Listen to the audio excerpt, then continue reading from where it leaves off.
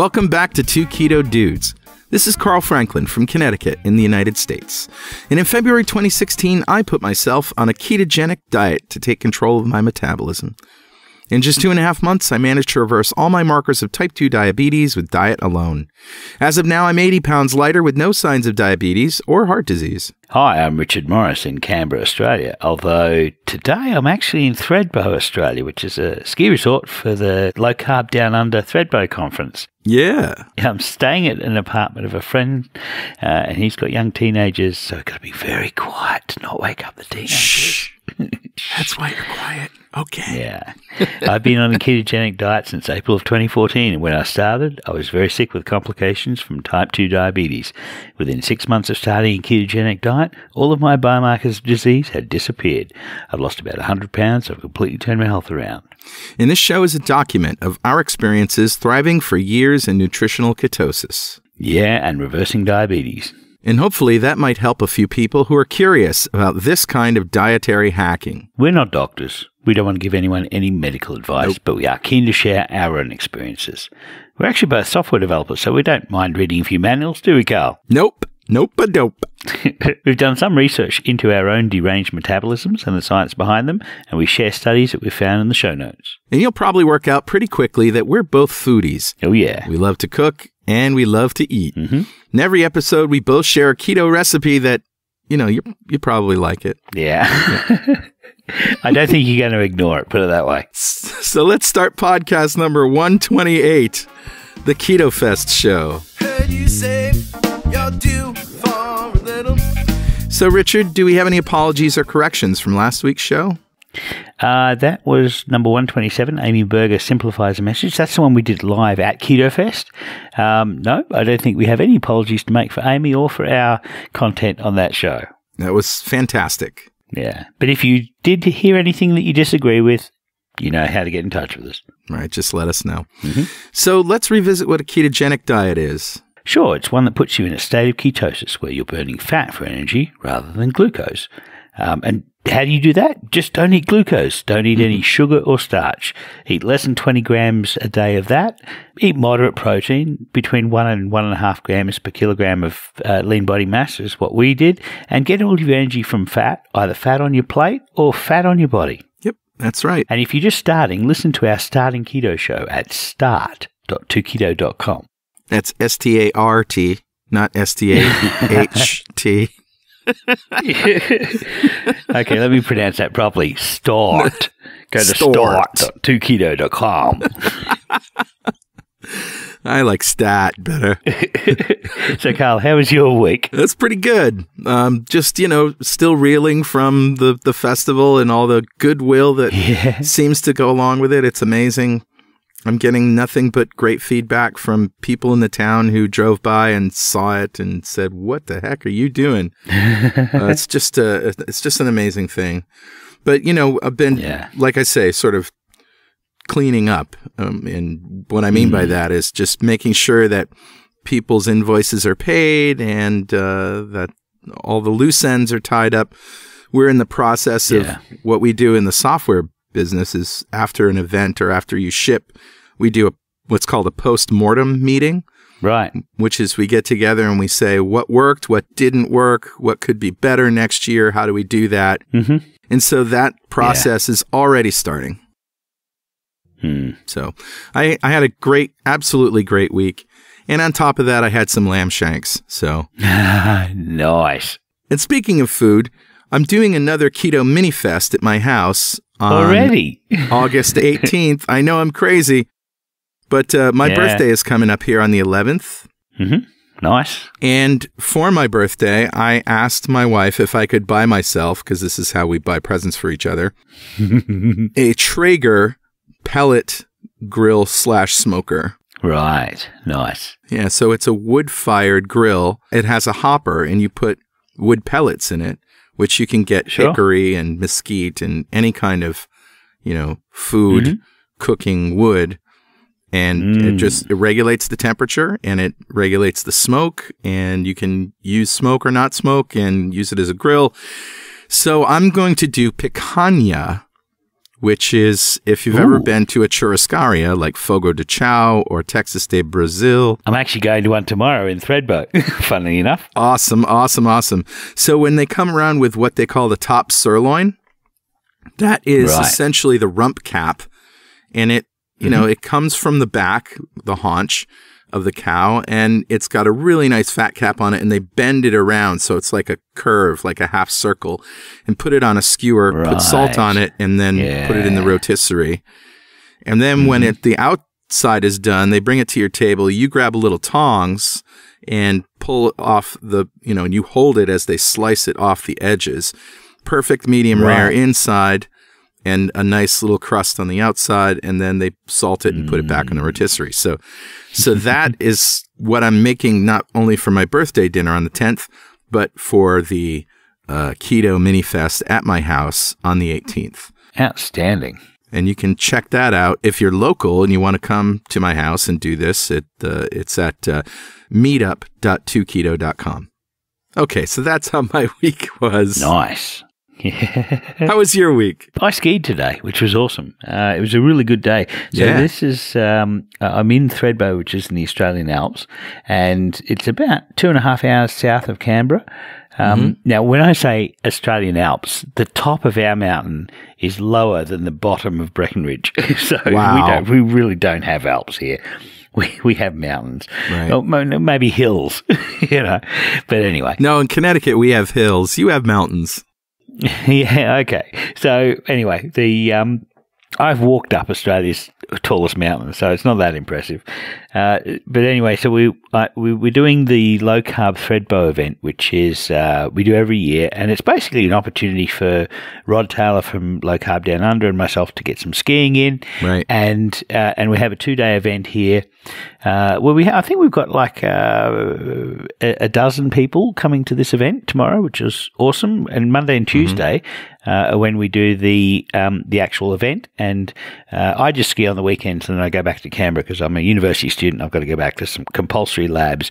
But Rod stays for the rest of the weekend. Ah, cool. The good news is that the next two days while we're doing our conference, the weather report says that it's excellent weather for doing a conference and horrible weather for skiing. So Oh, it's actually perfect. So, um, so that's what I'm doing. And tomorrow we're all going out to the Churrascaria in um, Thredbo, which is uh, it's one of these places where the, you have this little gadget, little wooden dowel gadget on your table. One end is green and the other end is red. If you have the green end up, they just keep bringing you meat until, and they don't stop until you put the red end up, and then that's that's it. They stop bringing you meat. So, Yeah. um, so that's going to be fun. yeah. it's always a great experience. Yeah, I don't often eat a lot of protein, but when I do, it's a churrascaria, and I use the little green gadget. That's awesome. Awesome, Yeah. awesome. So that's my week. So let's give away some swag, Richard. Yeah, every show we pick a lucky winner at random from the members of the Two Keto Dudes fan club. Yes, we do. And today we're giving away a treasure trove of stuff from vendors we like, all of which you can find at fanclub.2keto.com. So, Carl, who's our winner this week? This week's winner is Ann Savicus. Congratulations, Anne. Yeah, congratulations. Let's tell everybody what Anne has won. Right. Well, the first thing we're giving away is a two keto dudes coffee mug with our mugs on it that says keep calm Mm. and keto on. Yeah, and a signed copy of Lies My Doctor Told Me by Dr. Ken Berry online at lies.2keto.com. And a bottle of Stevia Sweet Barbecue Sauce developed by a barbecue restaurant owner who plans to change the restaurant industry forever. Only one gram of sugar online at steviasweetbbq.com. Nice. And a cheese making kit from Wine and Whey. Uh, these were the guys who did the cheese making demonstrations at Keto Fest. It was Pam Zorn who did these demos. And she gave away a kit to everybody who attended Keto Fest so they can make their own fresh mozzarella. That's online at Wine and Whey. That's W H E Y, way.com. and a six ounce cup of beef bone broth concentrate from Birthright Nutrition. Just add water, heat, stir, sip, and enjoy. Jam packed with collagen, gelatin, and all sorts of good stuff.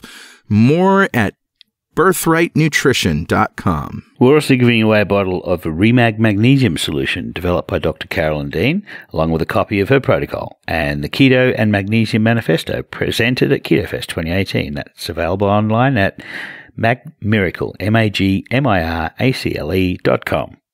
Well, this list is growing. But so, lastly, we're giving away a big bottle of fasting drops from Keto Chow.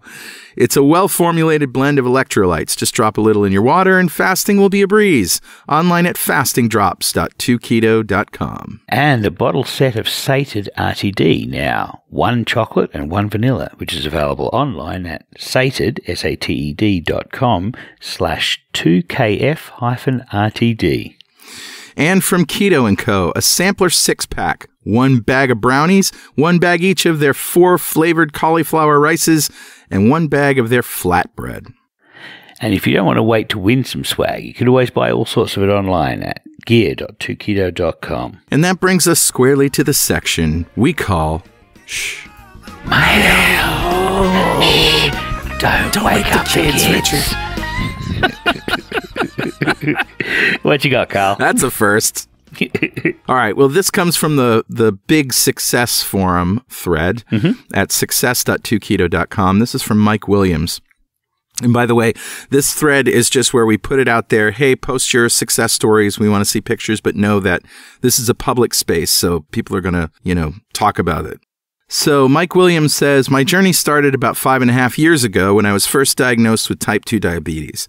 It didn't sink in just how big I really was until I saw a hmm. video recording of me in a church Christmas cantata. That is when my fitness and health journey began in November 2012. My weight then was about 330 pounds with an A1C of 7.1. Ouch. Being new to nutrition and fitness, naturally I did what the doctor told me to do. He put me on a mm-hmm. 1500 calorie diet. Good. And I have OCD, ADHD, or one of the D's. I don't know. I followed it pretty religiously. I lost some weight, but ended up stalling at about 285 pounds and was stuck there for several months. Mm-hmm. In somewhere in 2014, I was the victim of the healthcare canceling because of Obamacare. Also, at that time, I had to get a new primary doctor, and she recommended me to start doing paleo to help with the weight loss. Oh, that's something at least. Yeah. So my journey went along on the paleo way of eating. I had some results over the year I was uh, doing that. Uh, but again, I got to about 265 pounds and was stuck there with no changes for about a year. Then last year, during my primary doctor visit, my doctor recommended reading The Obesity Code by Jason Fung. Even better. Even better. So I got the audible version and listened to it several times. It kind of made sense and seemed easy enough to start since I was partially doing it anyway by doing paleo. Right. So in May 2017, my keto lifestyle began. I was kind of doing it haphazardly, not really tracking anything and having the occasional cheat meal off and on. Mm-hmm. When January of this year came around, I made a resolution to be more strict with my keto, trying consciously to keep my carbs under 20 grams. I experimented with doing cheat meals a few times, which had disastrous results. Mm-hmm. So I've been maintaining my keto way of eating. It's amazing how many restaurants will accommodate you. Also, church potlucks, which are a kind of crapshoot for what there is to eat, became easy as well. So, as of this writing, July 31st, I'm 220 pounds. Wow, that's 110 pounds. Mm, nice. And about 100 kilos he now weighs, which is awesome. Yeah. And my type 2 diabetes markers have been reversed. My A1C at my last doctor visit was 4.9. Nice. Yeah, one of my goals is to get below 200 pounds. I'm a member of several Facebook groups and unknowingly became an inspiration to people. Also, at my church, I become an inspiration to people there. Well done, Michael. Yeah, well done, Michael. I, I'd actually make three comments about that. The first is you're doing exactly what you need to do by being an inspiration to your own community. That's really what we've got to do. When we were able to fix ourselves and fix our family, we then need to go into our own community and find people in our own community who have the same problems that we had and tell them a way to uh, to reverse their diabetes because uh, we're not going to get this help from the diabetes organizations. We're not going to get this help from most dietitians. They're, they're rare, the dietitians that can help us with this. So we really need to have testimony from people who've, who've taken the journey themselves. Um, the other thing I would mention is that, that uh, Mike's uh, f- resting uh, HbA1c of 4.9. Uh, Everyone's is going to have a different number when they when they finally reach their end point. Right. Mike Mike could have exactly the same amount of glucose in his body and be getting 4.9 and me I get 5.2 that was where I I came to. And it really depends on how long our individual red blood cells live. So so you know it, it's really a good guide point to point for Mike to see what his HbA1c went to don't compare yourself against Mike. If your HbA1c is above five, don't say, "Oh, well, mine, need to, mine needs to get lower to 4.9 just to, as good as Mike's." Yeah. Um, because you know he, th- this number for him is uh, is is exactly where he needs to be, and now he knows if it goes much above that, he knows he's on the wrong track, and if it goes back to that, he knows he's back on the right track. The thing to note here is that when you get on the keto lifestyle, it becomes manageable. Like Yeah. weight spirals out of control. You know, when you're when you when you diet and you restrict calories and then all of a sudden you go off it, hmm. it easily spirals out of control. And it's not because you're not trying hard enough, it's hormonal. Mm-hmm. You know, it's it's your body is going to get you put that weight back on whether you like it or not. Yeah, and and you just lose control. So that's the thing about the ketogenic diet is that you gain control. If you want to let it go for a little while and you know eat more at night or do whatever the things that you do that you know will put weight on. It's going to go on slowly first of all, and second of all, you can just stop it. You can just reverse it in the other direction. It's manageable. So I, I really applaud Mike. So that's what I got. Richard, what do you got? So uh, mine is actually a comment on Facebook, uh, and this was from Sarah Braun.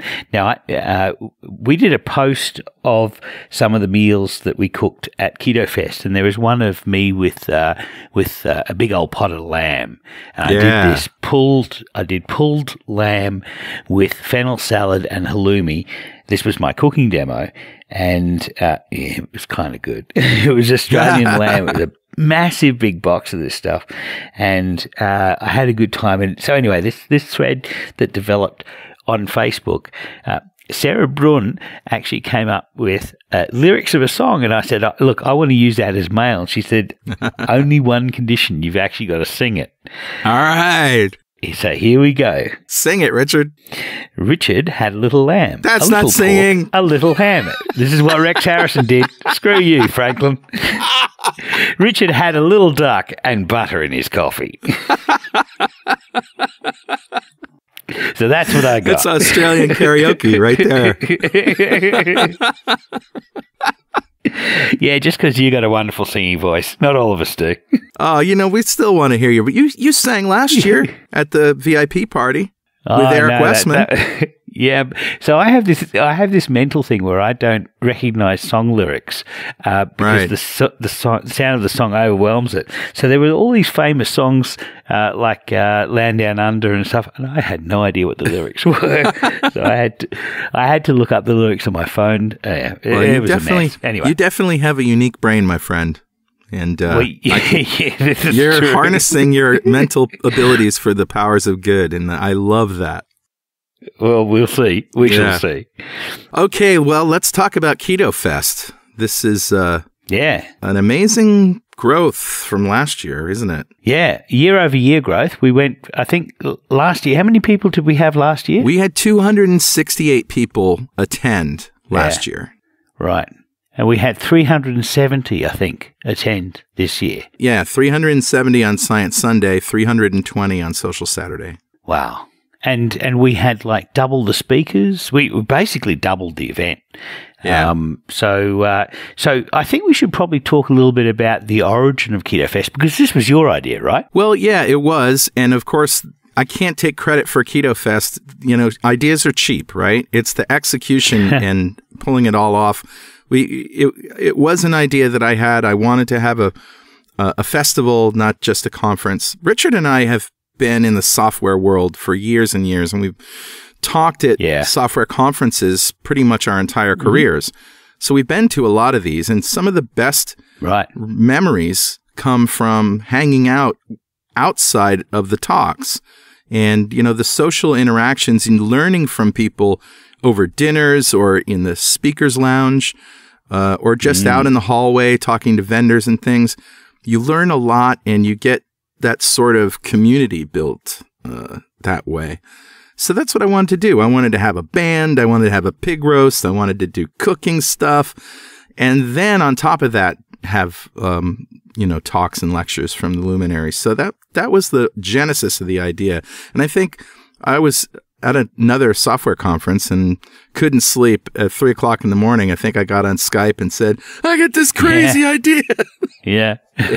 and we we just brainstormed this thing and we're like, you know what we should do? We should do a social Saturday where Saturday's only social stuff and then Right. we should do the science on one day so that that day's only the science and so everybody knows what's happening and so Yeah. and that's really how Keto Fest came about.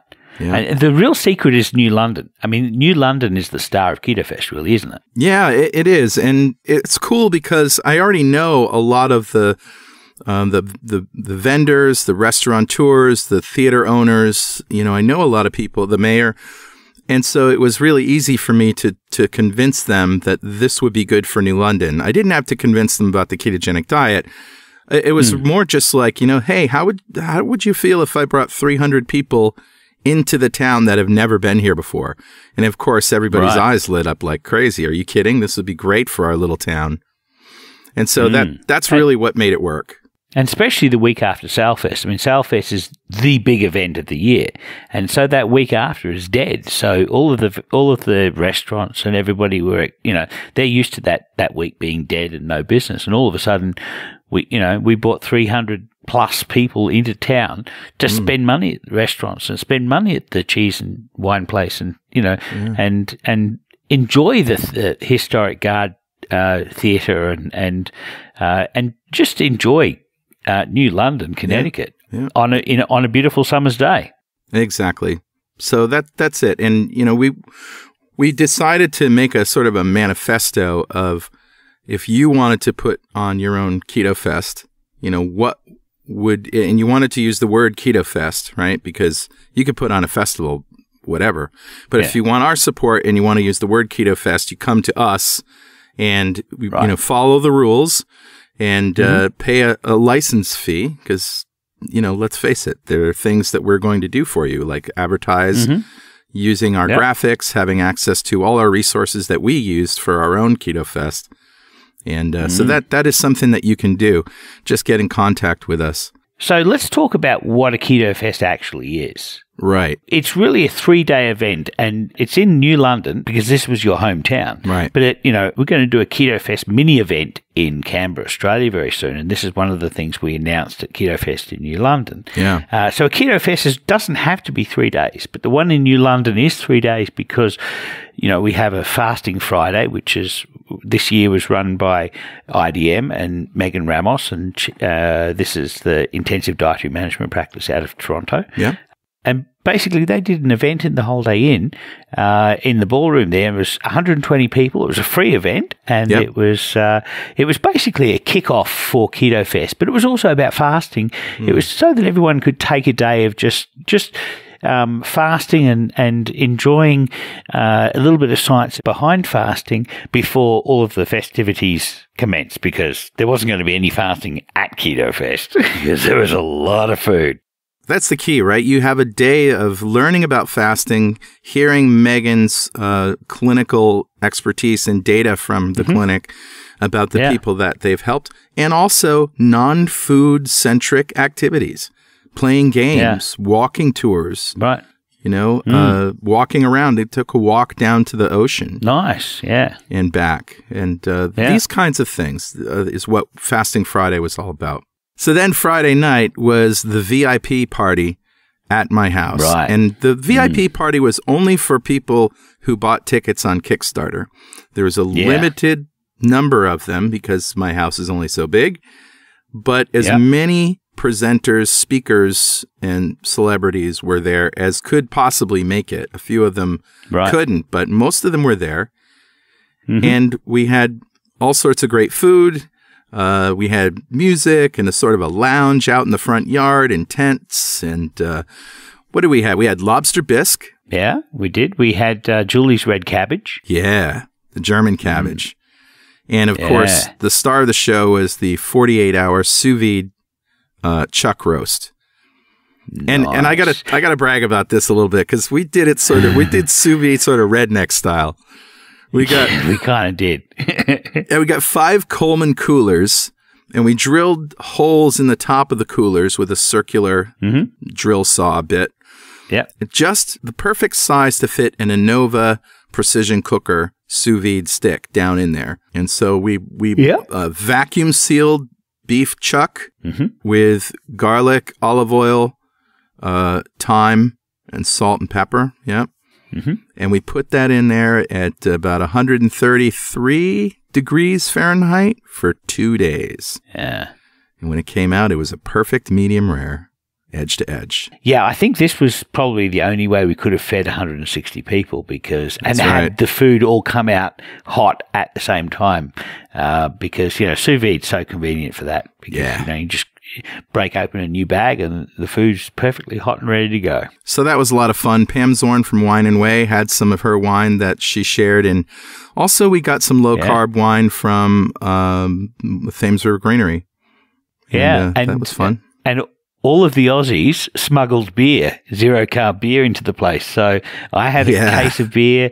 Uh, Stephen Price had a case of beer, and Andrew managed to smuggle two cases in. So we had like four, f- four cases of, of Australian zero carb beer, which was awesome. Uh, what a party! Yeah. So then, Social Saturday. Tell us about Social Saturday. Yeah, so Social Saturday is that's really the heart of the festival. And this we had cooking demonstrations at RD86. Uh, we had uh, cheese making demonstrations from Pamela Zorn. So this was really cool. This was new for this Keto Fest. Yeah. And what she did was she made uh, mozzarella. And uh, this is a 30 minute recipe that I, I've used in the past myself. It's a fairly simple, it's probably one of the simplest cheese recipes. And you use a microwave to get the heat up. And uh, she, she made this mozzarella, but she'd also previously made some cultured butter and some ricotta, which she'd combined and molded into small balls and frozen so that, or at least she chilled down so that, so that they were quite hard. And she got this mozzarella that she'd made, she'd melted in the microwave. She'd basically made it from milk, make it, made it from scratch. Hmm. And she got this mozzarella and wrapped it around these little balls and then twisted off the top. And it's called a burrata and it's basically cream cheese inside a uh, a, a mozzarella ball. And, oh, ah, so good. yeah. We also did walking tours. Tell me about those, Carl. Yeah, so the walking tours are done by New London Landmarks, and they already mm-hmm. have a business that takes people around the town on a one hour walk and they can visit the historical sites. Yeah. New London was a uh, big player in the whaling industry, you know, back Right. before uh, oil was our main source of energy. Uh, Yeah. The whale oil was uh, highly prized as a source of energy. And uh, Machine the- oil, too. Yeah, machine oil. I mean, the world mm-hmm. ran on whale oil. Yeah. And the Mystic Seaport is nearby. This is where the, th- this is a, an, a preserved or sort of a made up whaling village. Mm-hmm. And New London was also a huge port. But not only that, New London is where the Amistad landed. Uh, oh, right, It was a slave, slave ship, ship. revolt. Yeah. Right. Yeah. And if you go to the custom house, there's a plaque uh, dedicated to Joseph Cinque, who is the slave that actually led the revolt. And uh, it's it's an amazing story. And of course, Steven Spielberg came to New London and Mystic and filmed some of uh, his movie Amistad there. So if you want to sort of know about that, just watch the movie Amistad. Yeah. sure. Yeah. So the other thing we did uh, on Social Saturday was is we did live podcasts, and this Yeah. was where uh, Jimmy Moore and Carl and I and Daisy Brackenhall and uh, Carrie Brown and uh, Kim Howerton and Ken Berry all did podcasts live in front of a studio audience, A And, gymnasium uh, audience. well, that's true. It was a gymnasium. It was a, quite echoey, but uh, no, that was great. And um, this was an opportunity for people to see what the process is uh, behind um, producing a podcast.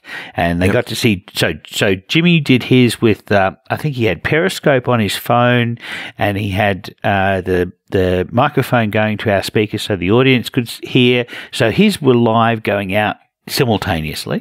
Mm-hmm. Uh, Ken and Ken Berry and Kim Howerton uh, had phones and they were doing a Facebook live. Yep. Carrie Brown and Daisy Brackenhall and you and I both did Yep. recorded podcasts, so that they will all go to editors before being published. Yeah, I think I think Carrie did hers live too. Did she really? Okay, yeah, cool. I think so. Awesome. Yeah.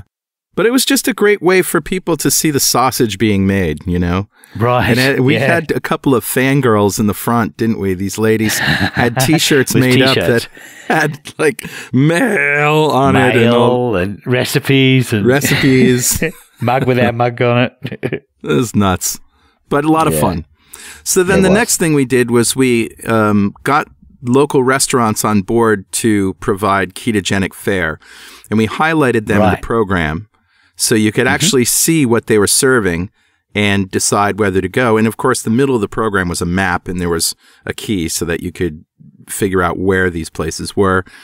Uh, it was Right. great. The, the the restaurants were fantastic. They obviously the ones that really leaned into it made out really well. Yeah. And the other ones that were just kind of on the periphery, well, they didn't do so well. They did okay, but yeah, exactly. We we gave everybody tokens that they could use to spend in these restaurants, um, and then Right. after the event, uh, we basically went around to all of the restaurants and paid them for any tokens that they collected. So, you know, it was a way to drive business into the local economy and uh, for for um, uh, you know, the, the local restaurateurs to be part of the festival rather than sort of being, you know, on the side of a Yeah. festival uh, like they normally would be. This is this was a chance for them to take uh, their rightful place front and center. Yeah, and one of the things that we discovered in our postmortem is that the, the, the coupons are hit and miss because it really requires the restaurant to understand that they need to ta- train their staff to take the coupons. And sometimes there's a staff person who just doesn't know and then they refuse them and now it's a bad experience for the attendees. Yeah. The attendees were going to buy it anyway, right? They didn't really need the mm. coupons. So next year we're scrapping the coupons and we're probably going to lower the Yeah, price. ditch those. Yeah, Yeah, we're probably going to lower the price to offset that cost. Mm. Yeah, so the final thing on Saturday was the ice cream social. Now, I'd never heard of an ice cream social before, but apparently this is a, a thing that's it's it's it's done in, in New England. Yeah. and uh, it's done. F- it's it's a church. It's a church event that doesn't involve alcohol. So it's a social event that doesn't involve alcohol. But but our ice cream social did involve some alcohol. So so we That's had right. um, and it was it was awesome. We had um, ice cream from uh, Rebel Ice Cream. It was their debut, Rebel Ice Cream. Right. Yeah. Yeah. Because they'd done the Kickstarter sort of uh, almost a year ago, I think. And, Yeah, and yeah. This was their big debut. Yeah.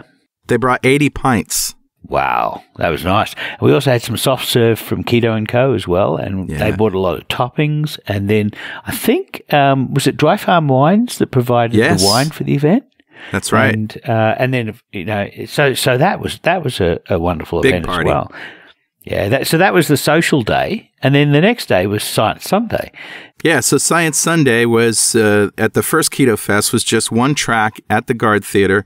This year we Mm-hmm. decided to add another track, so we had two separate venues, each with eight speakers.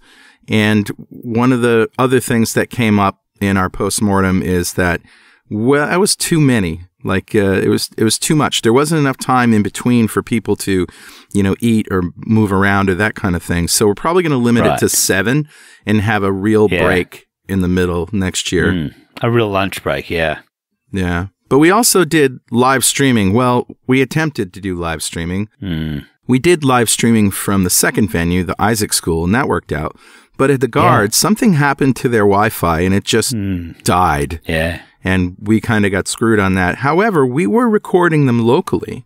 Right. So we are now in the process of putting together those videos and, you know, improving the sound, you know, making it louder and easier uh, to understand, trimming them up and putting them on YouTube. Now, we have the only one that we have up there on YouTube publicly is the keynote. Yes. And you can watch that at keynote.ketofest.com. Nice. And we're going to be trickling out the rest of them one per month Mm-hmm. because basically people paid to see That's the right. live stream.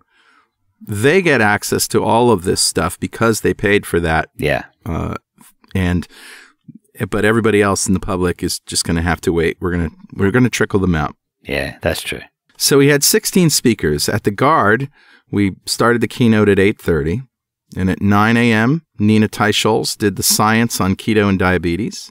Mm-hmm. At 10 a.m., Ken Berry, Lies My Doctor Told Me and What You Can Do About That. Mm-hmm.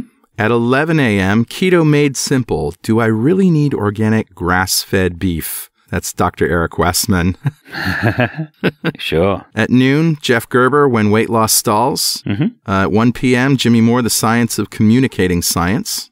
He's a, that's his expertise, is communication, right? Yeah, that's exactly right. I mean, we've heard Jimmy talk about the patient experience many times, but you know, most of the people in the audience knew that uh, patient experience because they'd lived it. Yeah. But what they didn't know is how do I talk to people in my community about the science? Yeah. Um, what is the science behind communicating that science? And that, and I think Yep. that was a very useful talk. I thought so too. Uh, at 2 p.m., Professor Richard Feinman did Warburg 101, an intro to energy metabolism and cancer. And this was a pretty technical talk. Yeah. And uh, for those who really wanted to go deep, it was good. But, you know, for the, Yeah. it- it's kind of ironic that that was after how to communicate science, right? Because it was really, Right. it was really technical. Yeah, I've decided that when I grow up, I want to be Richard Feinman. and the cool thing is, he doesn't know what he wants to be when he grows up either. so- So at 3 p.m., Dr. Nadir Ali, who's new to Keto Fest this year, uh, talked about Yeah. the paradox of insulin resistance versus LDL cholesterol. It was a brilliant talk. And all of these were brilliant, don't get me wrong. Uh, Yeah. 4 p.m., Ivor Cummins, an engineering guide to chronic disease avoidance, which was awesome. nice. And then at 5 Yeah. p.m., we did the closing ceremony where we gave away bacon. Yeah, we did. And at, the other venue, we had, uh, at nine o'clock, we had Alan Meisner, and he was the guy during Social Saturday, I forgot to mention, that who was doing free uh, fitness lessons on Right. the the grass just north of the parade. Yep. And uh, he came and did a pr- presentation on how to get the most out of that keto energy. And a lot of people really enjoyed that, that presentation um, because it, it was quite surprising. But of course, he was up against Nina Teicholz. So, uh, you know, that, that was a tough gig, that one. The other thing that I need to say about Alan Meisner's talk is he was the first talk of the day, as Richard said, and we didn't have the the the streaming working and the recording working correctly during that talk. So we actually lost his video. Oh. The video that we got had no sound. And the sound that we did have from the camera was so bad because it was echoey. So what we're doing is get this. I'm going down to Pensacola, Florida in October where he lives at, and doing a keto mini fest at his house. I'm bringing Brandon. We're going to stream it. We're going to record it and that will be his, he's going to redo his talk and that will be his video for Keto Fest. How cool is that? That's awesome. Very generous of him. So at 10 o'clock after Alan, we had uh, Megan Ramos, and she gave a talk on practical fasting and the science of intermittent fasting. And then at 11 o'clock, we had Dave Feldman, Decoding Cholesterol, uh, the new lipid energy model and why it matters. Oh, Dave's awesome. He is. And then after Dave, we had his uh, plucky sidekick, Siobhan Huggins, and she did LDL primed to protect cholesterol's role in defense and repair. Yeah, And that then was at great 1 too. p.m., we had Nick Mailer on your marvelous mevalonate machine versus the statin slayer. That's great. and that was that was that was technical, but I think he I think he nailed it. I think he brought off a technical presentation uh, to to a to a, an audience, and I think he was able to carry it off. So Yeah. uh, the next one was uh, uh, Peter Ballerstedt, Dr. Peter Ballerstedt, who did the ruminant revolution. And now the interesting thing about this presentation is halfway through, our laptop that was uh, that was streaming it uh, kind of shat itself. Yeah, yeah. It was So, the streaming ended up- laptop, not the presentation laptop. He just kept on going. Yeah. He was a he was a trooper, and we actually have video of because because we recorded the video in the cameras themselves. We actually have a video of him doing that presentation, and I think we might actually release that as one of the first. It's going to be like a blooper reel for us because you know our, our hardware obviously didn't work. But Yeah. Peter's presentation was outstanding and very funny, and uh, I think we might actually release that as one of the fir- one of the first. Uh, Yeah, maybe we actually got we most of it recorded. And it was only at the end that it kind of blew up. So that was no big deal. It was kind of funny, Yeah. as you said. and then at 3 p.m., we had uh, a presentation by Amy Berger, Nourishing Your Neurons, Alzheimer's Disease as Type 3 Diabetes, and a nutritional strategy to fight it. Yeah. And then at 4 p.m., we had Amber O'Hearn doing carnivorous diets, benefits beyond low carb. And uh, and that was the all the presentations at the alternate facility. So we had a lot of really good stuff. It was a jammed packed Science Sunday. It was amazing. And we didn't talk about the food on Science Sunday, but we also fed people at the Garde, right? Well, this is unusual for a conference. Most conferences, you know, outside the room, there's like a hospitality table with some pastries and some Snickers bars and Right. maybe a piece of fruit if you're lucky, but it's all glucose. It's it's basically for the glucose burners who can go 45 minutes without uh, getting hungry. And what we did instead was we fed people real food. Yeah, We had an all day bacon bar, that's right. cheese sandwiches, toasted cheese sandwiches, which Yeah. you know, for keto people, that's just that's just evil. That's unheard of. And we did that using the Fox Hill Kitchens bread. And the Fox Hill Kitchens people, Julie and her daughter, actually Yeah. came down and used four griddles to toast and, you know, buttered toasted buns inverted. So you get the toast mm. on the other side of the bun. And then they had an assortment of types of cheeses and they made these grilled cheese toasties. Uh, and then what people were doing was grabbing bacon from the bacon bar and sticking them in That's so between, you know, like a pepper jack sandwich or something. Yes. And those were off the chain awesome. And we did it last year and we had to do it again this year. The funny thing about those cheese sandwiches was everybody was lining up for these cheese sandwiches, and Mm. it, the the line went around the room and past the bacon bar where people were picking up their bacon prior to getting their cheese sandwiches, and they That's went all the way out into the Garde itself. So you know it was a massive long line, and it, it snaked past the bacon bar. How convenient was that? Yep. And we also ended the day with uh, beef stroganoff, which Oh, Robert yeah. Mm-hmm. Ramsey made at RD86 with some sour cream. And that was served over uh, cauliflower rice, uh, a sort of a herb blend that uh, Keto & Co. provided.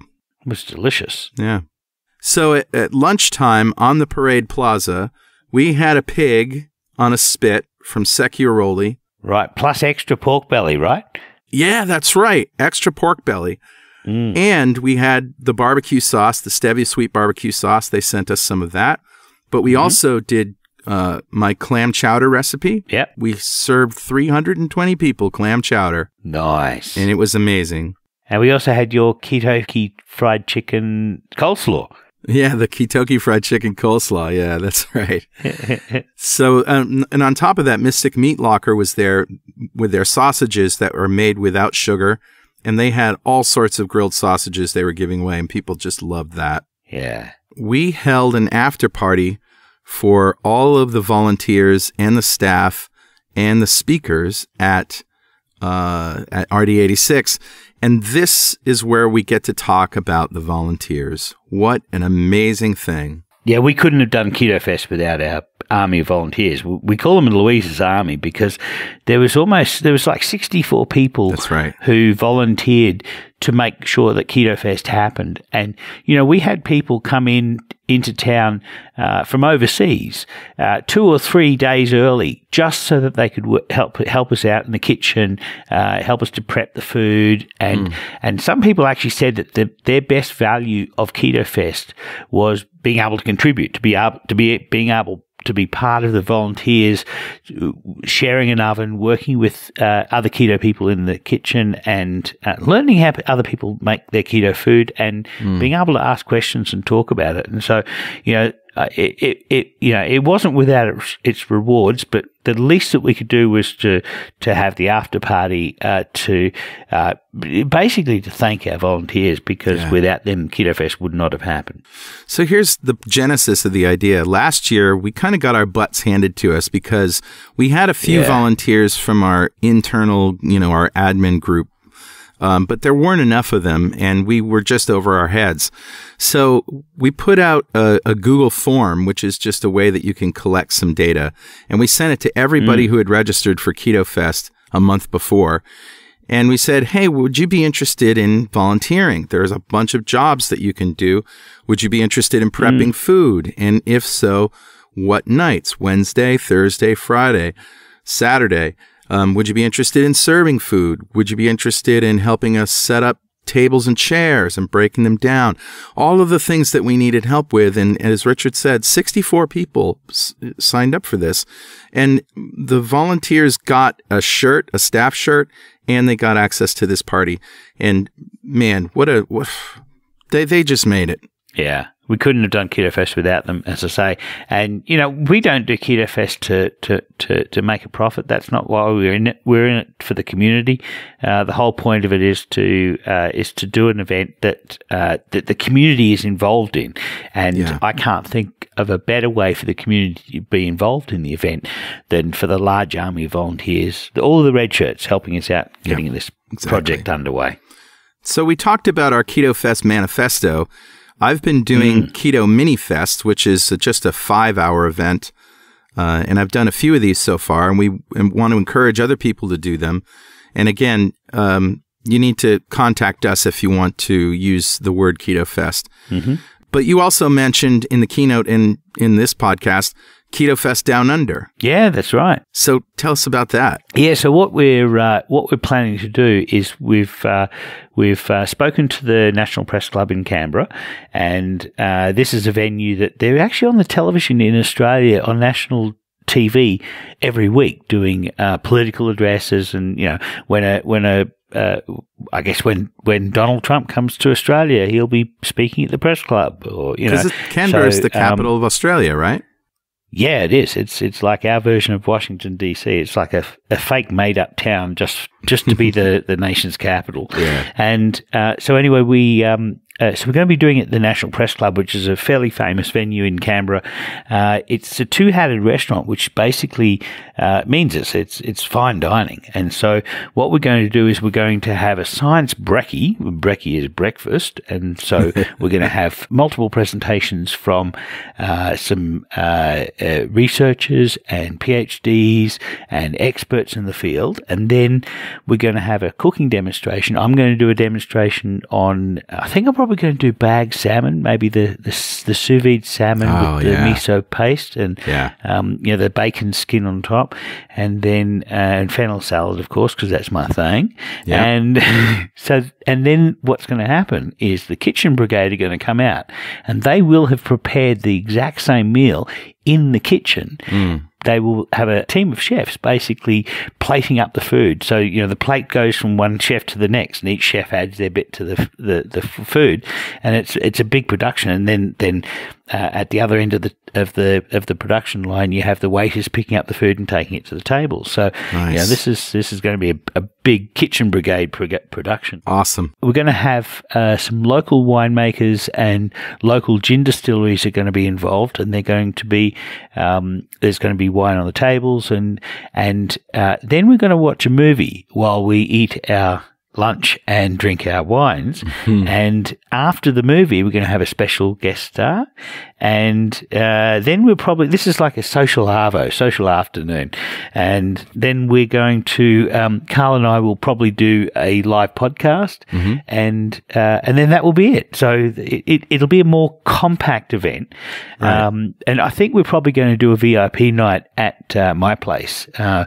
but it'll be a lot smaller because we can probably only get about twenty or thirty people in. So that's going to be a very high ticket item when we do the Kickstarter, and the Kickstarter is going to come out this week. Uh, then we're going to. Um, uh, you know that that that ticket's going to go fairly quickly because Yeah. there's so few of them.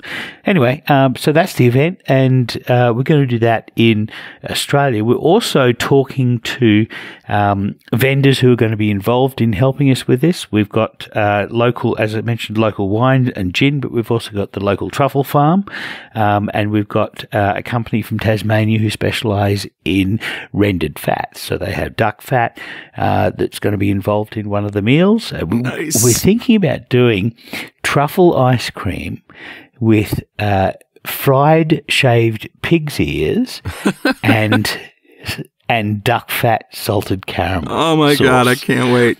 for dessert. That's crazy. so yeah, so that's that's the plan. So, one thing that we should mention is that we're also working with other groups to do keto fests in London and in Toronto. but we don't That's have old London. Yeah, old London. But we don't Yeah. have anything to report yet. Those are just being worked on, and uh, Mhm. we're advising them, and uh, noth- nothing yet. So don't ask us. We'll we'll make it known Yeah. when those things come online. Yeah. And if you see Keto Fests uh, any cro- cropping up in the next couple of weeks uh, for anywhere else, then they're unlicensed. We're not involved in them. And, you know, if they uh, don't uh, meet your expectations, then don't come blaming us because these people That's- are not involved with us. Exactly. Well, are you feeling peckish, puckish, or otherwise hungry? No, I have the curse of Keto Fest. and that is, uh, you know, just, I mean, with Keto Fest, I just wasn't hungry. Uh, I'd eaten so much good food that, uh, that I, I almost wasn't hungry for a week afterwards. Yeah, me too. it's remarkable. But, um, uh, yeah, I could, I could hear about some recipes though. What do you got? Some Recipes, don't wake the kids. recipes. What you got, Carl? All right. So I kind of punted this week. Um, been a little bit busy. Didn't really do much cooking, but I did find something that I plan to do, and uh, the the ra- people are raving about it. So this is from Ruled Me, ruled.me, Mhm. and it's a keto version of General Chow's chicken. And, and chow is spelt T S O, right? Yeah, and there is a whole story behind General Chow. It's an American dish, okay? Somebody yeah. actually went back to China to track down General Chow and there there isn't even a statue of him in the town that he was famous for. So it's just a whole lot of American stuff. Anyway, so this makes about 3 servings at a 1.4 pounds each. Uh, comes out to 566 calories, 37.3 grams of fat, 4.5 grams of net carbs, and 59.3 grams of protein. Nice. So they're calling for six to seven small chicken breasts. Now, Hmm. I don't really know what that means. What's a small chicken breast? Is that a half of a breast? Because a breast is both halves, right? yeah. And is it six or seven? Make your mind up. Yeah, I wish it was a little more precise. When I do this, I'm going to use uh, chicken thigh meat. Yeah. So, I, I and I think that's what General Chow's uses is the thigh meat. Hmm. Three quarters of a cup of crushed pork rinds, one third of a cup of almond flour, two large eggs, two tablespoons of olive oil, and one tablespoon of coconut oil. Now, I have people in my house that are allergic to coconut, so I'm going to probably use butter instead. Sure.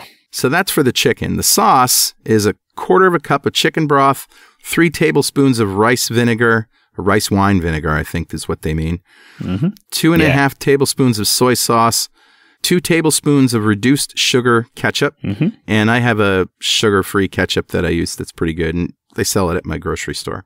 Nice. Two tablespoons of erythritol. Mm-hmm. I'm going to substitute that with xylitol. That's my sweetener of choice. Two teaspoons of sesame oil, Mm. toasted sesame oil. Yeah, I love that stuff. Yeah, and here's where the carbs come in. One teaspoon of hoisin sauce and a teaspoon of red chili paste. And those have a little uh, carbs in them, but the uh, author of this recipe says, you know, this is what really gives it that flavor. So I, I, I don't know. I try to find some sort of low carb version of those things. So I did see one for hoisin, and it used a combination of peanut paste and soy sauce and a sweetener, and it was able to get and and those when you think about hoisin sauce, that's really the flavors. It's sweet, it's got that umami flavor, and it's got like uh, that little bit of um, sort of tang, the soy sauce kind of tang to it. So uh, that's probably a good analog to try and get uh, the uh, the flavor of uh, hoisin. Well, maybe if you think about it, we've already got soy sauce and we've already got Mm. the uh, Sweetener. Yeah, the sweetener. Maybe you just need Yeah. a teaspoon of uh, peanut butter. Yeah, it could be. Maybe that's it. Yeah, give it a go. Yeah. Yeah. Uh, also, the red chili paste is just chili pepper and it's hot paste, so that's okay. Yeah. They're also calling for a teaspoon of red chili flakes, chili pepper flakes, teaspoon Mm. Okay. of garlic powder, half a teaspoon of minced ginger. Get fresh ginger, kids, and a quarter teaspoon of xanthan gum. Mm. So here's how it works. You put the pork rinds in the food processor and pulse them until crushed.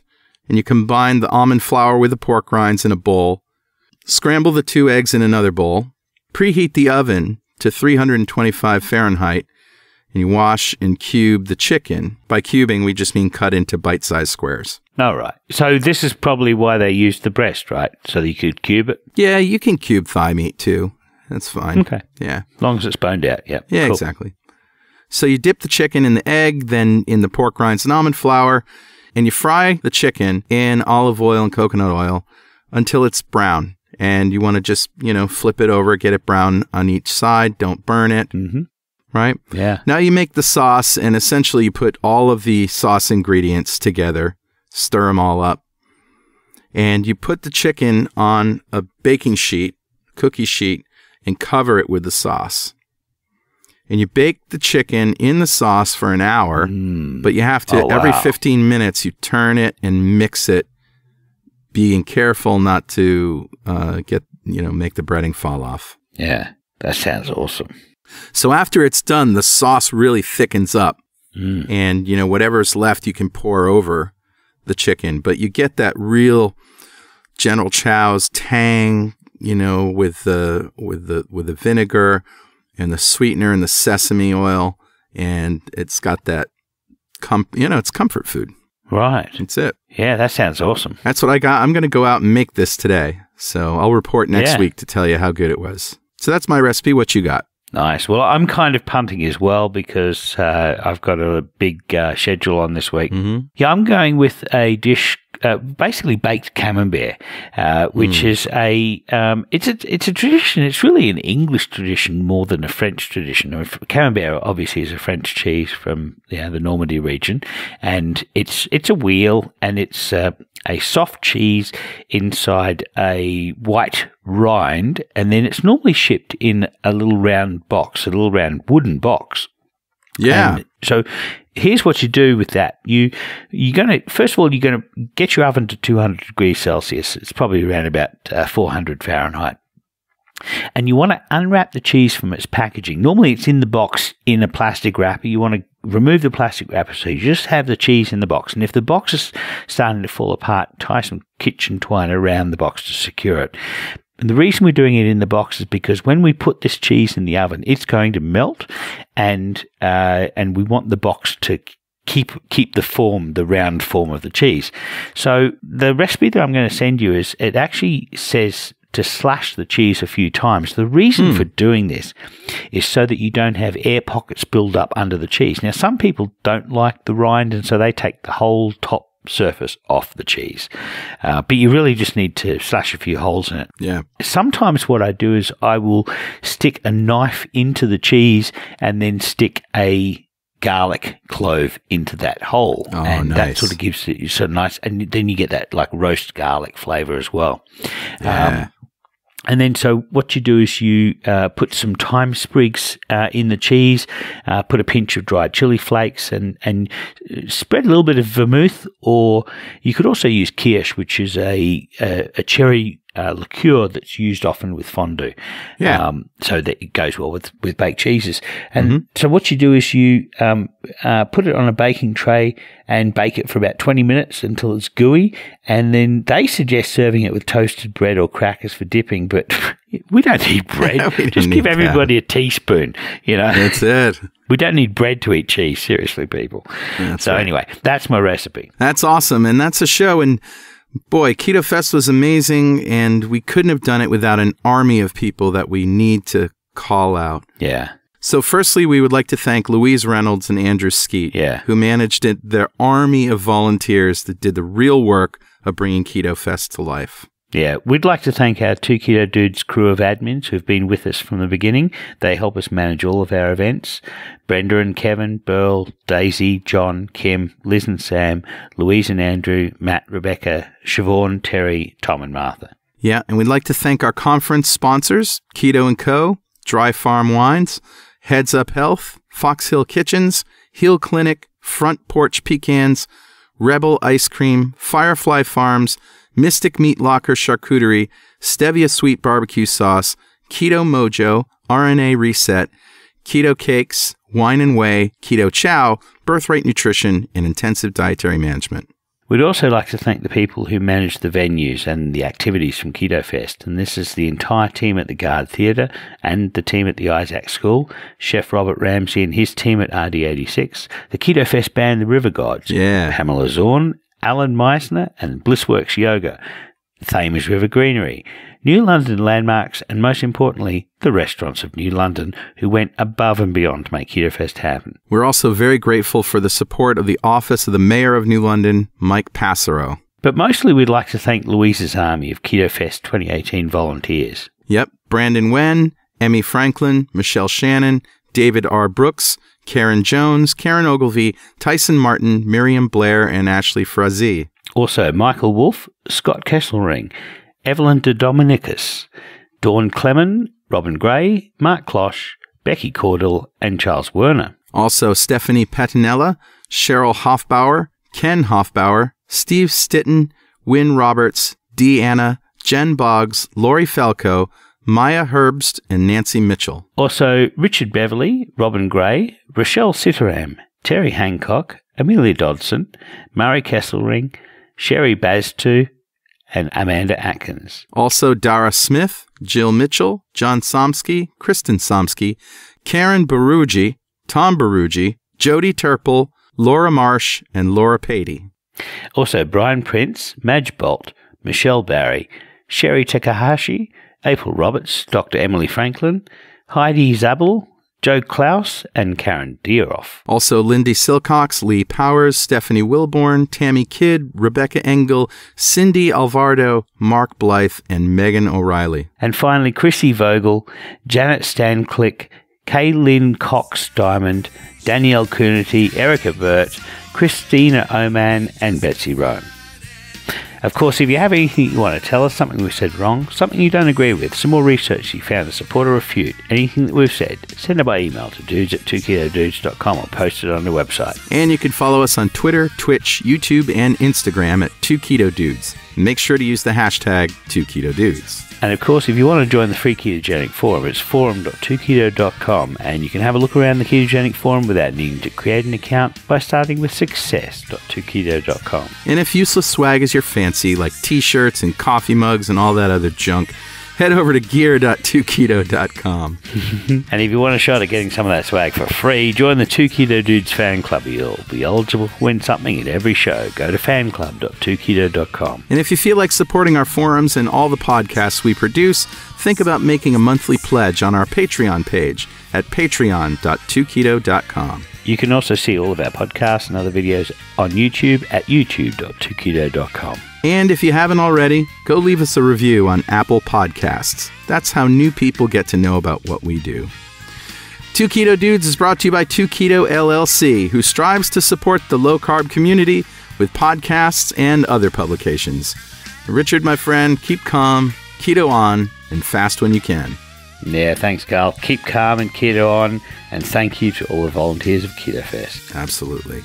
And we'll see you next time on Two Keto Dudes.